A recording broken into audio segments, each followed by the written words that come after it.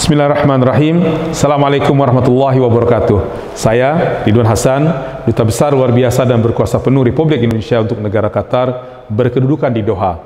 Dalam kesempatan ini ingin mengucapkan selamat ulang tahun kepada Sekolah Tinggi Agama Islam Darun Najah Staida Jakarta yang ke-35.